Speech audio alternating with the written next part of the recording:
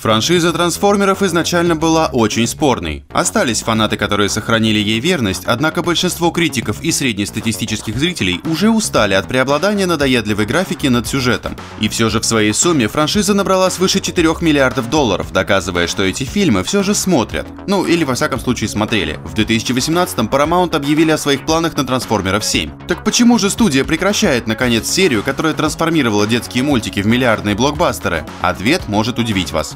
Презрение критиков и финансовые проблемы. Ни одна студия не захочет несколько лет подряд вкладывать миллионы долларов в фильмы, которые подвергаются негативу со стороны критиков. И пусть эти отзывы не всегда влияют на сборы в кинотеатрах, в случае с трансформерами Paramount наблюдает динамику снижения окупаемости фильмов. Уменьшение рейтинга от фильма к фильму на Rotten Tomatoes – это серьезная проблема. Возможно, среднестатистические зрители соглашаются с критиками и постепенно перестают ходить на новые фильмы франшизы. Для подобного рода блокбастеров негативные отзывы довольно редки, однако на трансформеров с каждым годом приходит все меньше и меньше людей.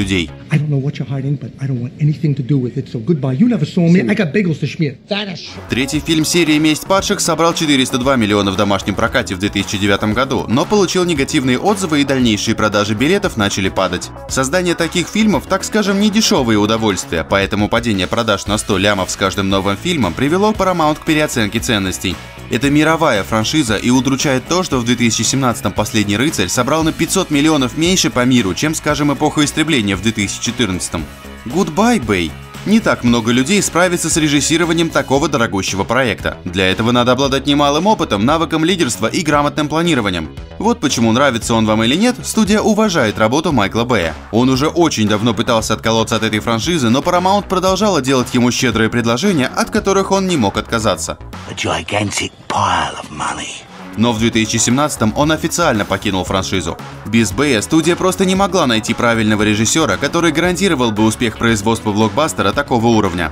Извилистая история. С легкостью можно сказать, что франшиза трансформеров никогда не была супер логичной. Ну, в первом фильме хотя бы сюжет простой и элегантный. Парень обнаруживает, что его тачка это инопланетный робот, и он вместе с девушкой отправляется в крутое путешествие в поисках магического куба. Достаточно необычно и легкомысленно, поэтому и сработало. А дальше больше. Бэй и его сценаристы устроили такой замес, что для этого надо быть подготовленным. Месть падших вернула Оптимуса Прайма к жизни с помощью древнего кинжала, зарытого в песке. Потом в темной стороне Луны мы узнали, что Десептиконы ждали момента вторжения на Землю десятилетиями, а все это время просто тупо сидели на Луне. Эпоха истребления закинула сюжет еще дальше в прошлое и рассказала о доисторических динозаврах-трансформерах. Последний рыцарь показал Бамблби в роли ветерана Второй мировой, а герой Шая Лабафа оказался потомком рыцарей круглого стола. Ну-ну.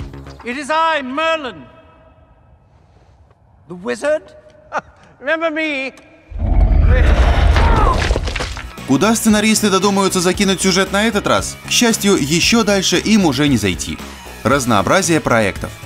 Франшизы были придуманы для того, чтобы развивать одну и ту же успешную историю годами, но проще сказать, чем сделать, и трансформеры тому доказательство. Их мерчи фигурки неплохо разошлись по рынку, однако в других сферах им не везло. Они выпустили весьма так себе серию комиксов, в то время как видеоигры собрали в лучшем случае средние отзывы. Никто в них особо не играл. В то же время Paramount немало вложили денег в другие фильмы, которые широко известны и уже запланированы на 2019 год, а это сулит им хорошую прибыль. На данный момент мы ожидаем продолжения Топ Гана, лучшего стрелка, новый перезапуск Терминатора и киноадаптацию Соника. И все это высокобюджетные фильмы по востребованным брендам, пусть и по-своему рисковые. А вот выкидывать бабло на высасывание трансформеров из пальца Paramount явно не собирается.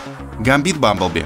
Paramount также может придержать Трансформеров 7 на время, пока не получит результаты продаж приквела про Бамблби. Чисто технически это Трансформеры 6. Это можно считать последней надеждой франшизы, и она в хороших руках. Трэвис Найт талантливый режиссер, который подарил нам великолепный мульт Куба «Легенда о самурае». Если фильм зайдет, то это даст Paramount повод немного подождать и запланировать следующий фильм уже после этого. А если провалится, то это станет последней каплей, которая потопит всю франшизу.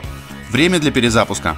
Перезапуски франшиз в последнее время стали популярны и успешны, а ребут трансформеров может убить всех зайцев сразу. Это очистит его крайне неуспешную историю провалов и заслужит шанс на старт с чистого листа. К тому же это докажет, что Paramount готовы учиться на своих ошибках. Критики тоже могут оценить этот смелый шаг, если студии хватит мозгов, юмора и рук из того места. Перезапущенные трансформеры могут стать франшизой, которые всегда должны были стать. Той самой, которая завлечет в кинотеатры почти всех людей на планете.